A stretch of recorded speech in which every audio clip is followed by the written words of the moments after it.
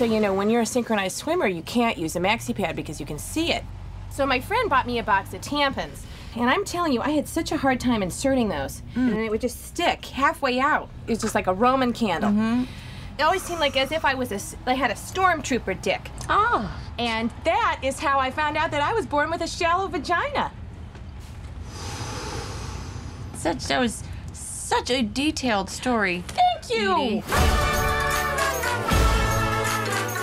Edie. We're the Millers.